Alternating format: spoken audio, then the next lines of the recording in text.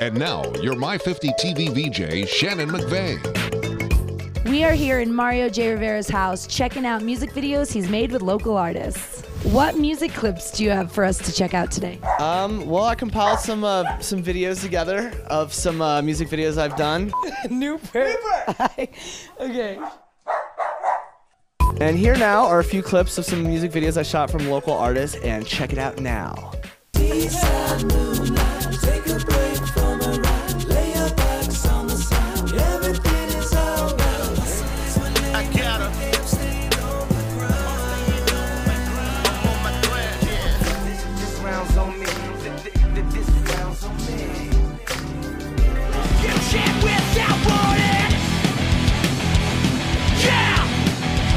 We'll be back with more a little later tonight, right here on My 50 TV.